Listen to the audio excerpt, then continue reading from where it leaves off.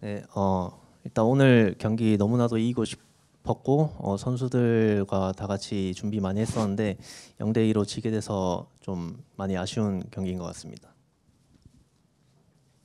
네, 어, 음, 가서 다시 봐야 알겠지만 1, 2세트 다 할 만한 부분이 있었고 뭐 유리했던 점도 있었다고 생각하는데 그런 부분들을 못 살려서 패배로 이어져서 아쉽게 생각하고 있습니다.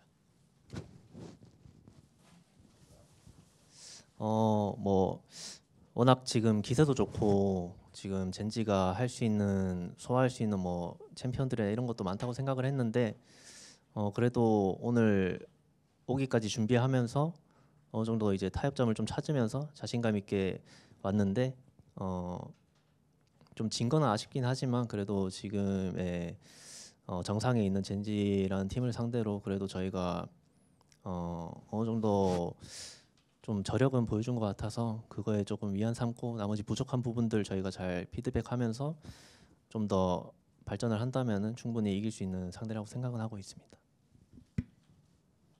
음, 네, 확실히 항상 스프링 때부터 느낀 거는 음, 저희도 실수하고 상대도 실수, 모든 팀들이 다 실수를 한다고 저는 생각은 하는데 이제 어, 좀더 크나 엄청 크게 작용할 수 있는 실수를 좀 더 덜 하는 것 같고요. 상대팀 젠지가 네. 어, 확실히 뒷심도 좋고 항상 그 한타력이 가지고 있기 때문에 어, 이렇게 유리했을 때 확실히 저희도 긴장을 놓치지 않고 계속 잘해야 된다고 항상 생각했는데 오늘도 그- 그렇게 생, 어, 오늘 하고 나서도 그렇게 생각이 드는 것 같아요.